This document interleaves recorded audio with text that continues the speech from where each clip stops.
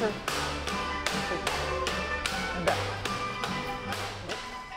Tekniqlingz is a traditional modern Philippine folk dance group and a nonprofit organization.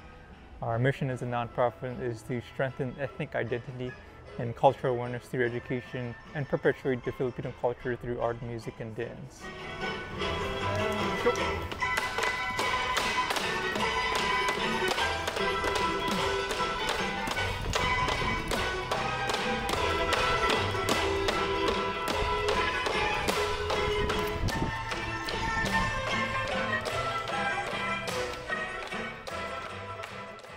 Mabuhay and aloha! Okay, there you go. Right on. Uh, well, ladies and gentlemen, my name is Gabe. I'm representing Tekniqlingz.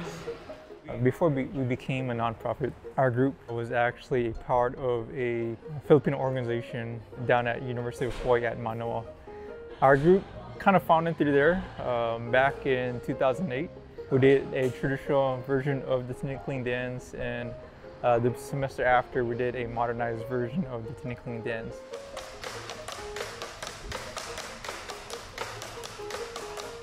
The Tinikling is a dance that originates from the Visayas region of the Philippines. There's two clappers clapping bamboo sticks, and those two clappers represent farmers.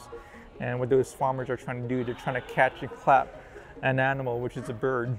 And they refer that bird as the tikling bird. Uh, so that's why the dance is called the Tinikling, is because the dancers are trying to imitate the tikling birds hopping in and out of the bamboo sticks.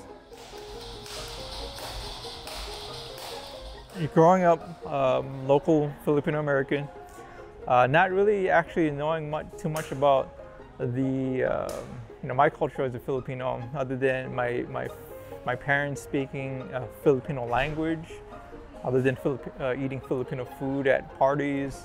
First exposure, I didn't even know what Philippine dance was until college, and uh, it was from, that- from that point in time where it really gravitated to me and stuck with it uh, till today. Yeah.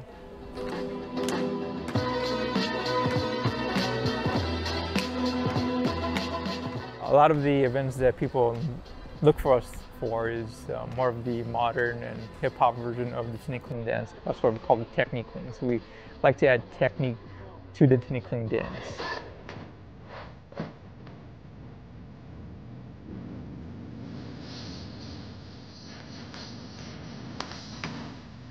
very first time I saw a modernized version of the dance, of the Tinikling dance, is uh, freshman year of college.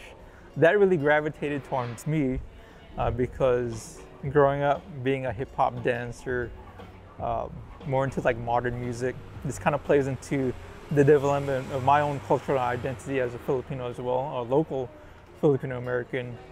One of our hopes every time we perform is to kind of inspire the younger generation uh, using modern music, using like hip hop movement into the dance uh, to get, I guess, people like myself or even a younger generation of local Filipino Americans to be more proud, um, more thinking about more of their cultural identity as a Filipino.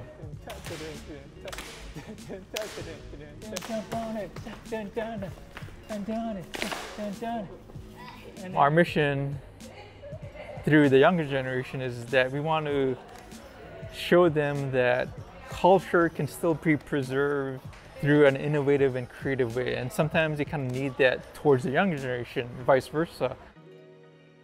We want to show them that traditional dance and being into your culture can be cool, and most of all, uh, one can be proud of.